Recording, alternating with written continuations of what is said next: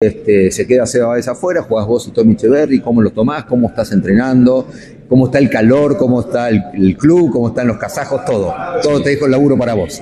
Bueno, hola a todos. Eh, sí, totalmente. Esas son decisiones que uno no toma, eh, que toma tanto Guille creo que con todo el cuerpo técnico y bueno, después Guille creo que es el que, el que toma la decisión final.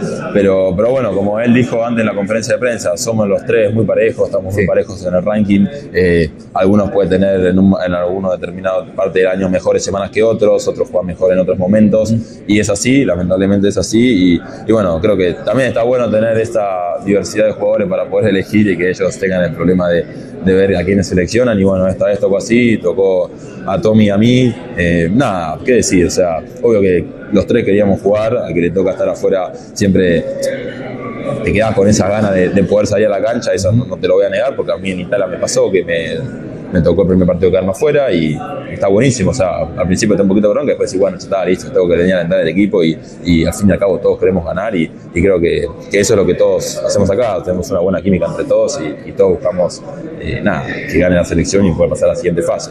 Pero bueno, eh, venimos entrenando muy bien, eh, hace mucho calor, la verdad que la cancha está picadora, está rápida por el calor que hace y, y bueno, eso aumenta que, que sea más rápida la cancha, pero creo que dentro de todo todos nos sentimos cómodos en, en los entrenamientos. Eh, Fer, bueno, le va a tocar abrir la serie mañana a 11 de la mañana el Jockey Club Rosario. Fran va a jugar contra Poco, lo vimos, transmitimos en Fox el Challenger, este, eh, jugador de experiencia. eh, que conoces de él, te gusta arrancar, Sí. de los tres argentinos sos el más viejo, con más experiencia, jugó más serie, te gusta abrir la serie y saber a qué hora ya sabes a qué hora jugás.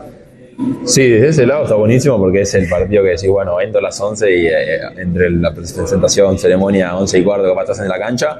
Eh, en Lituania me tocó arrancar la serie, entonces gané, ganamos, creo que hay que seguir por esa Por la cábala. por la cámara, ese signo positivo, así que bueno, desde ese lado está buenísimo y ojalá pueda ganar yo para dejarlo todo mi 1-0 arriba y que no tenga que, que entrar a la cancha con derrota, pero, pero bueno, de poco lo que vos dijiste, eh, vi un poquito de los Challenger ahí, eh, vi que es un jugador aguerrido, que pelea, que corre, que mete, que Saca bien. que saca bien, te pega fuerte con el saque a la derecha. Sí. Eh, un jugador básicamente de polo, que parece kazajo, pero creo que le gusta jugar en polo, así que nada, va a haber que jugar todos los puntos, luchar, no desesperarse, porque corre, mete, le gusta pelear y bueno, nada, bancarse el calor que está pesado.